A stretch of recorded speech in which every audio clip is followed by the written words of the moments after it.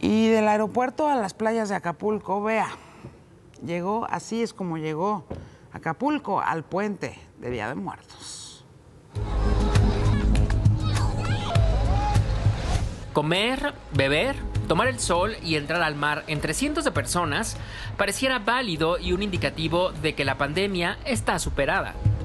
¿Usted sí cree en el coronavirus? Claro que sí, hombre, pues está matando mucha gente. ¿Pero usted no le da miedo contagiarse aquí en, en la playa? Claro que sí, porque viene mucha gente de otros lados y eso nos puede afectar. Pero a pesar de esto, usted está disfrutando las playas. Pues sí, porque pues no, nunca tenemos un chancecito y ahorita que estamos por acá, pues si quiera disfrutar un ratito. Acapulco estuvo este domingo casi al 40% de la ocupación hotelera en sus tres zonas, la diamante, la dorada y la tradicional. Prácticamente nadie respeta las medidas preventivas básicas como el uso del cubrebocas y la sana distancia. Pues sí, sí me da miedo, pero pues bueno, estamos aquí, ¿no? Nada más estamos en nuestro grupo y ya, o sea, no nos, no, no nos metemos con nadie y... Venimos 16 integrantes, venimos en autobús. Todos estamos aquí, de hecho desde que parte subimos al autobús, usamos el cubreboca y el gel antibacterial. La mayoría de las personas dicen tener miedo de contagiarse, pero aseguran que cumplen con medidas preventivas y que salir a las playas es válido para convivir con la familia y desestresarse. Pues sí, nos da miedo, pero también hay que desestresarnos un poquito de, del estrés del trabajo. El pasado 22 de octubre, el gobierno de Guerrero informó que se incorporarían brigadas policíacas a recorridos de playas para garantizar que se cumplan las medidas de prevención, lo cual no ha sucedido. Para imagen con información de Ángel Galeana.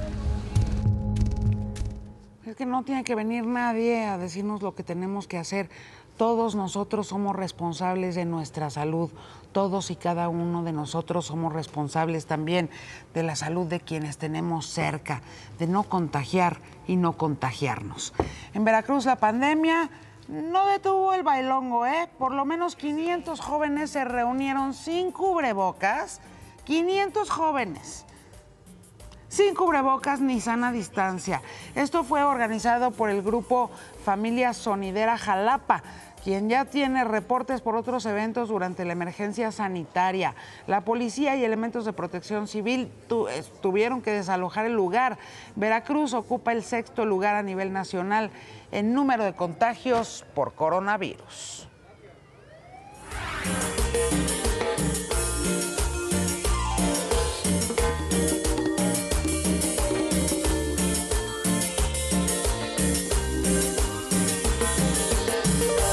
Quiero mandar un especial para Producciones Kumbala en esta super y gran ocasión.